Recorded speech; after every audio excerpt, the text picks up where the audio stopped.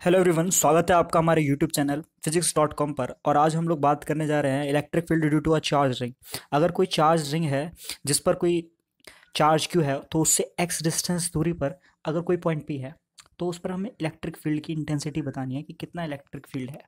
तो ये क्वेश्चन जो है यूजुअली पूछा जाता है और ये आपको आना चाहिए क्योंकि काफ़ी इंपॉर्टेंट क्वेश्चन है। तो देखिए, इसमें करते हैं क्या मान लीजिए कि रिंग है हम पे कैपिटल आर रेडियस की और इस रिंग ये जो रिंग है, इस रिंग पर हमने पूरे में चार्ज क्यू जो है वो इक्वली डिस्ट्रीब्यूट कर रखा है। यूनिफॉर्मली डिस्ट्रीब्यूट कर रखा है वो प्लस चार्ज क्यू तो कोई भी अगर मैं छोटा सा इसका एलिमेंट लेता हूँ डी क्यू तो वो छोटा सा एलिमेंट डी एल लेंथ का अगर एलिमेंट लेता हूँ वैसे अगर इसकी रेडियस आर है तो इसकी पूरी का जो सर्कमफ्रेंस होगा वो टू पाई आर होगा। कितना होगा? टू पाई आर हो जाएगा इसका सर्कमफ्रेंस लेकिन लेकिन हमें क्या करना है? हमें इसकी पूरी रेडियस को नहीं देख रहे हैं अभी। पूरी सर्कमफ्रेंस को नहीं देख रहे। हम मानते हैं इसमें छोटा सा एलिमेंट है डी एल यहाँ पर हमने छोटा सा एलिमेंट डी एल मान लिया और उस डी एल एलिमेंट में कितना चार्ज होगा? ऑब्वियस बात है डी क्यू चार्ज होगा। इस ये पूरा क्यू तो नहीं हो सकता क्योंकि हमने यूनिफॉर्मली डिस्ट्रीब्यूट करा है। तो थोड़ा सा चार्ज होगा डी क्यू उस छोटे से एलिमेंट डी एल में। तो अब देखिए क्या करते हैं हम कि इसमें हमने चार्ज मान लिया डी क्यू है तो इससे आर डिस्टेंस पर, इस आर डिस्टेंस पर एक पॉइंट पी है। जिस पर हमें इलेक्ट्रिक फ़ील्ड की इंटेंसिटी बतानी है। तो वो इलेक्ट्रिक फ़ील्ड की इंटेंसिटी क्या होगी? तो वो इंटेंसिटी होगी electric field intensity due to segment d q अगर इस सेगमेंट डी क्यू को मैं एक पॉइंट चार्ज मान लूँ तो पॉइंट चार्ज के कारण इलेक्ट्रिक फ़ील्ड इंटेंसिटी हमें पता है।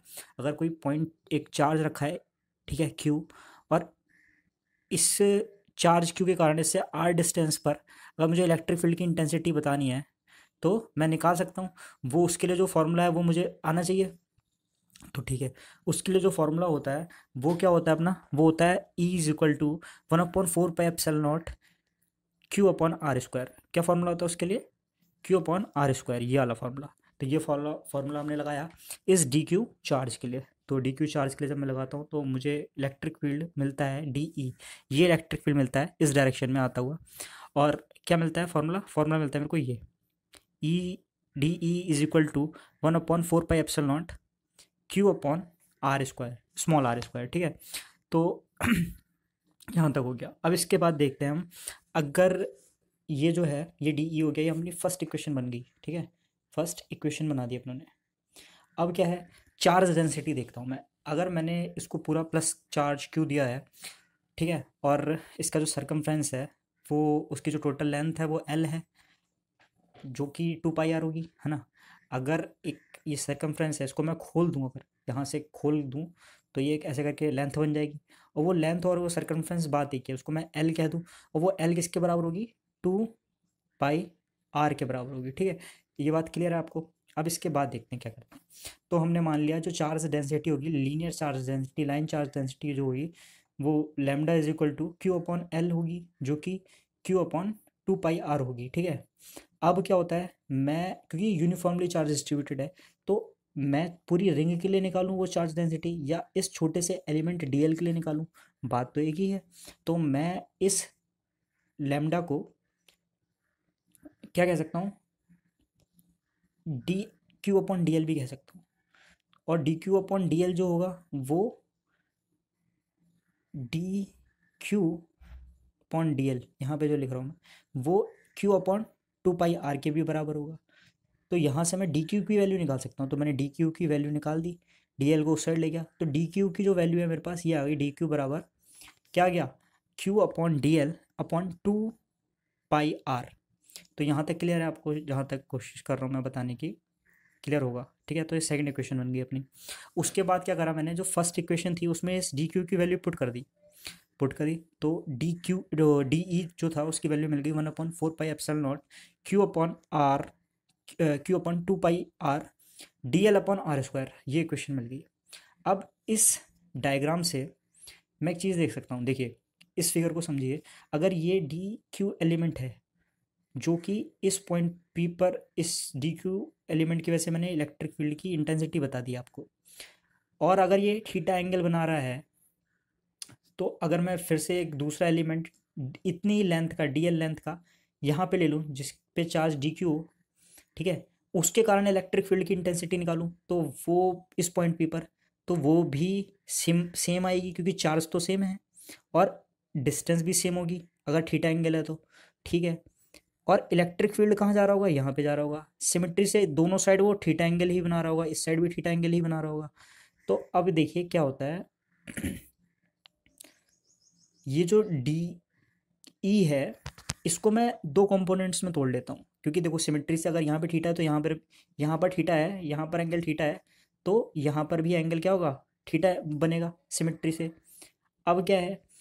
इसको मैं दो कंपोनेंट्स में तोड़ तोड़ लेता हूँ डी ई कॉस थीटा और डी ई साइन थीटा में। तो इस कंपोनेंट को मैंने तोड़ लिया, इस वाले कंपोनेंट को डी ई कॉस थीटा और डी ई साइन थीटा में। तो डी ई कॉस थीटा इस साइड जाएगा डी ई साइन थीटा इस साइड जाएगा, इस साइड ठीक है?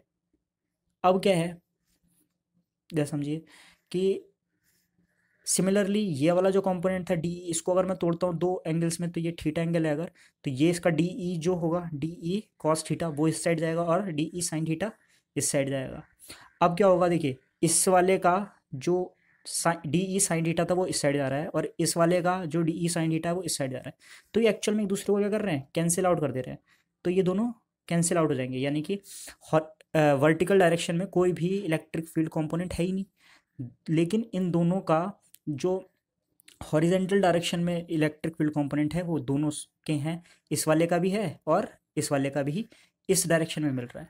तो अगर मैं देखूँ, जो नेट इलेक्ट्रिक फ़ील्ड मिल रहा है मेरे को, वो हॉरिजेंटल डायरेक्शन में ही मिल रहा है, इसी डायरेक्शन में मिल रहा है, ठीक है? वर्टिकल वाले तो एक दूसरे को कैंसिल आउट कर दे रहे हैं डी ई साइन थीटा वाले तो एक दूसरे को कैंसिल आउट कर दे रहे हैं। तो सिर्फ़ डी ई कॉस थीटा के कारण ही रिजल्टेंट इलेक्ट्रिक फ़ील्ड होगा, ठीक है? तो मुझे डी ई पता है, लेकिन डी ई कॉस थीटा मुझे निकालना है तो ये मुझे क्या दे देगा? किसी भी इन चार्ज के कारण क्या दे देगा? नेट इलेक्ट्रिक फ़ील्ड दे देगा। तो डी ई डैश कह दिया मैंने इसको। डी ई डैश कह दिया। तो अब क्या करा मैंने? इसको इवेल्युएट करा। देखते हैं क्या आता है। देखिए डी कॉस थीटा की डी कॉस थीटा की यहाँ से आप वैल्यू निकाल सकते हैं किसी भी एक ट्रायंगल से। इस वाले ट्रायंगल में अगर आप देखें तो जो कॉस थीटा है उसकी वैल्यू होगी एक्स अपॉन आर ठीक है? तो आपको डी ई कॉस थीटा निकालना है। डी ई की वैल्यू आपको पता है, आपने सिमिलर पूरी वैल्यू रख दी। लेकिन कॉस थीटा इस कॉस थीटा की वैल्यू आपने ये रख दी। जब आपने कॉस थीटा की वैल्यू रख दी, उसके बाद आपने इसको सॉल्व करा फर्दर ठीक है? तो आपकी ये वाली इक्वेशन आ गई है ये इक्वेशन आ गई। ठीक है? तो इस इक्वेशन को आपने अपनी थर्ड इक्वेशन मान लिया। इस इक्वेशन को आपने थर्ड इक्वेशन मान लिया। इसके बाद क्या? इसके बाद आपने नेट इलेक्ट्रिक फ़ील्ड निकालना है डी ई डैश के कारण। तो जो डी ई डैश है, वो डी ई डैश क्या है d E dash d E dash वो आपका डी ई कॉसिटा है। तो डी ई डैश का अगर आप इंटीग्रेशन कर दें पूरा तो आपको नेट इलेक्ट्रिक फ़ील्ड मिल जाएगा। तो आपने ये जो पूरी वैल्यू आई है, ये वाली पूरी वैल्यू इसको रखा यहाँ पर। रख दिया आपने। जब आपने सॉल्व करा तो आपको सारी चीज़ें देखिए कांस्टेंट है इसमें सारी चीज़ें कांस्टेंट ली आपने। लेकिन जो डीएल है, वो ही वेरी कर रहा है। तो डीएल जो है, ये इस चीज़ को अगर आप इंटीग्रेट करेंगे तो क्या आएगा? इसको इंटीग्रेट जब आप करेंगे तो आपको मिलेगा टू पाई आर। इसको जब आप इंट्रीगेट करते हैं तो आपको क्या मिलेगा? इसको इंट्रीगेट करने पर आपको मिलेगा टू पाई आर। ठीक है इंट्रीगेशन डी कर देंगे आप। तो पूरी जो रिंग है उसका इंट्रीगेशन अगर डीएल कर दें, इस छोटे से डीएल का इंटीग्रेशन कर दें, ठीक है? तो आपको टू पाई आर ही मिलेगा। तो टू पाई आर की आपने वैल्यू इसमें रख दी और उसके बाद आपको जो इक्वेशन मिलेगी, वो इक्वेशन आएगी वन अपॉन सॉरी, वो जो इक्वेशन आएगी आपकी, वो आएगी one upon four pi epsilon nought q x upon r square r cube की फॉर्म में आएगी सॉरी माफ़ कीजिएगा। वो जो पूरी इक्वेशन आएगी, वो आएगी q x upon r q आएगी।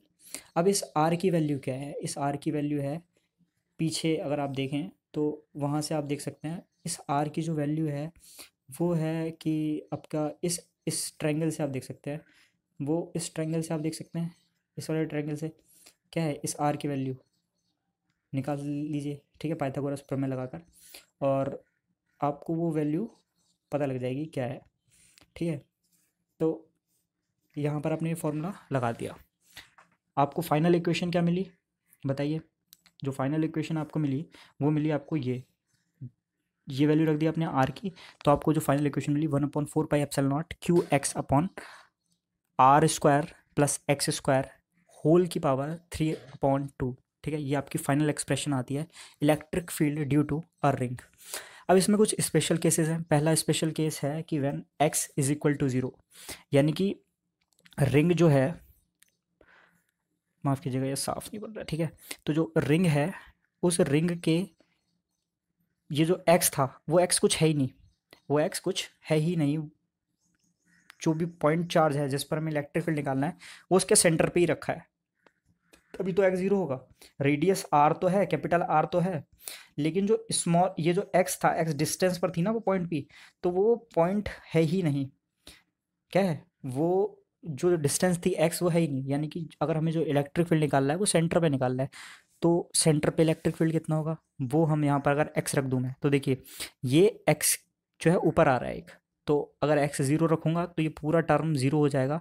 इलेक्ट्रिक फ़ील्ड कितना आ रहा है? ज़ीरो यानी कि एक रिंग के सेंटर पर जो इलेक्ट्रिक फ़ील्ड होगा, वो हमेशा क्या होगा? ज़ीरो होगा। क्योंकि ड्यू टू इट्स सिमेट्री जो रिंग होता है, वो सिमेट्री होती है और उसके कारण जो इलेक्ट्रिक फ़ील्ड लगेगा, हर जगह से वो बैलेंस हो जाएगा। और नेट इलेक्ट्रिक फ़ील्ड जो आएगा, वो रिंग के सेंटर पे हमेशा ज़ीरो आता है। ठीक है?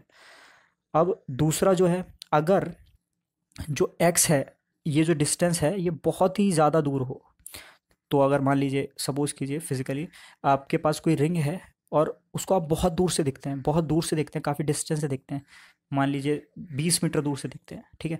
तो बीस मीटर दूर से वो रिंग आपको कितनी बड़ी दिखेगी? एक पॉइंट की तरह दिखेगी तो वो एक पॉइंट चार्ज की तरह बिहेव करती है, उसमें चार्ज तो है, लेकिन वो पॉइंट चार्ज की तरह बिहेव करती है।